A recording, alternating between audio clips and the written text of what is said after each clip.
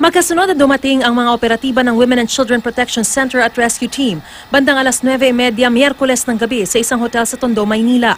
Maya-maya pinasok nila ang isang kwarto kung saan naroon ang aabot sa sampung babae. Pito sa kanila mga minor de edad.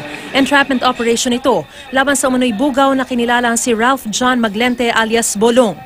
Nagkunwaring customer ang mismong operatiba ng Anti-Trafficking and Persons Division.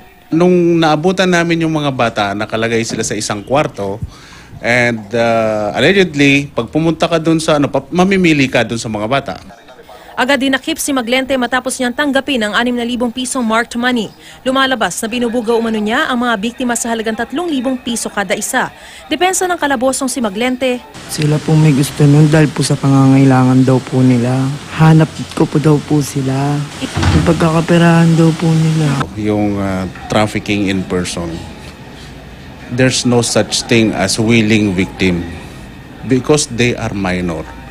They are deprived of reason. Yung suspect kasi, they are prying on the vulnerabilities nitong mga bata. pinaiimbestigahan din ng pulisya ang posibleng pananagutan ng hotel. ask for the closure nga nung uh, hotel. We have yet to establish nga yung uh, yung knowledge ng uh, hotel uh, management dun sa prostitution ng children Sinubukan naming tawagan ang numero ng hotel pero walang sumasagot sa amin.